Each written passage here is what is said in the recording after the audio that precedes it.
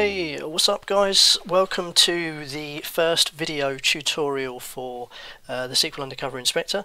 Uh, I'm Adrian from SQL Undercover, or you may know me as ADBA uh, for if you're in this Slack community or if you've been uh, looking at our GitHub repository.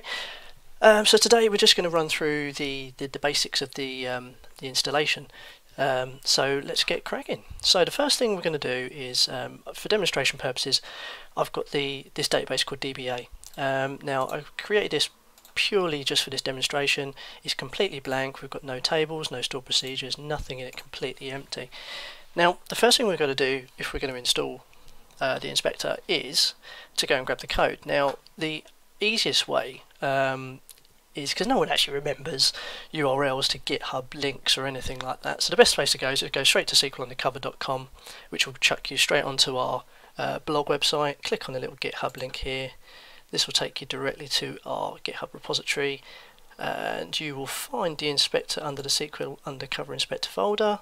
Grab the SQL file and I find, you know, if you don't want to save the stuff locally, um, just simply hit raw view and then what raw view will do is it will just open up in a new page where you can just simply uh, control A, control C just to grab everything there.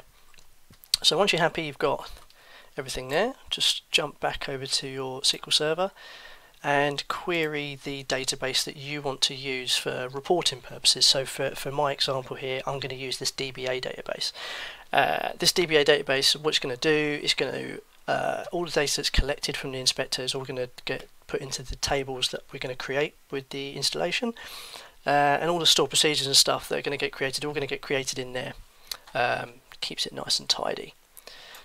So all you need to do at this point, you don't need to do anything with the script other than hit F5 within your database. Nice and easy.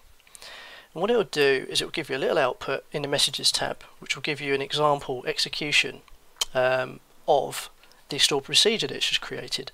So if I just show you, just demonstrate, at this stage we've not created any tables, but we have created a stored procedure, and this stored procedure is the inspector setup and this inspector setup is going to be responsible for actually installing the inspector. So I'm just going to open up a new tab, copy and paste that in there. Now, don't worry too much because if, for example, you cancel this window, you got distracted, someone come up to you and said, "Hey, I've dropped some stuff in prod, come and help me out now," you know, ran an update with no where clause. Don't worry because what you can do, if you've forgotten the command, you can simply just pop at help. Equals 1 not in caps because that won't work. And that will give you the same statement out again. So it will just give you the output command again just in case you forgot it or lost it whatever. So if in my example here you're running on a single server uh, I'm not interested in centralizing data. I'm not looking at reporting on more than one server at a go. I'm just going to work on this one simple instance I've got here. Uh, I'm not going to worry about link server because I'm not going to pump any of this data anywhere else other than the instance I'm on.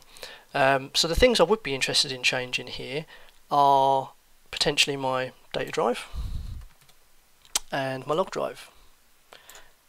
This is only for use with um, with one of the modules that, that checks for database files, whether you've got your data files on log drives, log drives on data files, etc. Um, so you don't have to worry about that too much and, and even if you don't do that at installation stage, you're going to find that in the settings table. It's exactly the same for backups path. Don't worry too much. If you don't set it at this point in installation, you get a chance to check it later. Um, the same with all of this stuff here in this big block you're going to get to change that stuff later on. So it's not the end of the world if you don't change it now. One thing that is important is if you do want to uh, create job schedules for the jobs that get created, set it to a 1. You're going to save yourself some time, especially if you're going to do this on multiple servers. You, you don't want to go doing this on 12 servers, manually creating schedules or dropping and recreating jobs. Uh, just make it easy set the schedules, um, unless you want something specific, of course. Uh, and this flag here, don't worry too much. If it is your first run, it's gonna it's gonna automatically determine it's your first run, and it's gonna set that to a one anyway. Uh, that's there more for if you've already got an installation and you want to revert things back to the vanilla stage out of the box. You're going to set that to a one, and it's just going to revert everything back to back to square one. So for now, I'm just going to keep everything pretty much basic. I'll change these two things here, and I'm going to run it. And now it's going to run in the context of my database name here, and it's going to give you a small output here to say um, whether you need to uh, download any prerequisites or anything like that. It's going to tell you if you if you'd had that problem, uh, such as FN split string, which at the moment for 1.4 you're going to need, but V2 is going to have it included.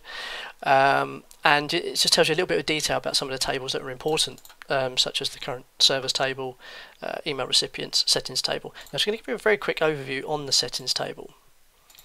And as we can see, also it's created all these new tables. So in the settings table, lots of those things that were in the setup there can be adjusted here. So this is why I was saying don't worry too much about you know setting those things at, at, point of installation. It's not the end of the world. You can come in here and edit any of these things at any given time. It doesn't really matter. So that's the basic installation on how to get started on installing it. Uh, now, what does it do? You know, what happens when it runs? How does it run? So if you set schedules, you're going to get um, some schedules in these jobs and they're going to run automatically. But if you wanted to just kick it off manually to see what it does, which I would imagine you want to do, um, kick off the collection.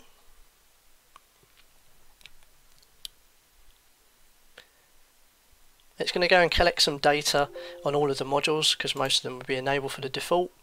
And then if you'd specified an email recipient in here and you run the report, as long as you've got DB Mail set up and everything, you're going to get an email of the HTML report. But of course, if you didn't do that, if you're just testing, uh, you will find that HTML data, uh, but you'll have to just go digging in the report data table in here.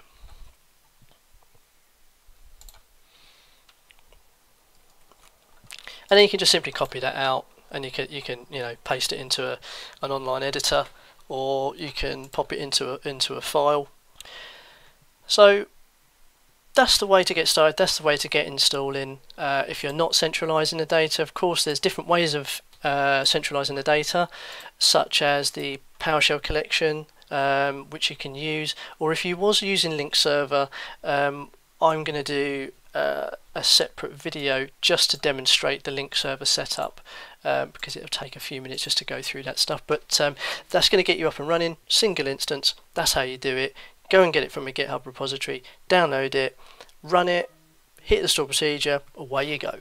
Thanks very much for viewing guys.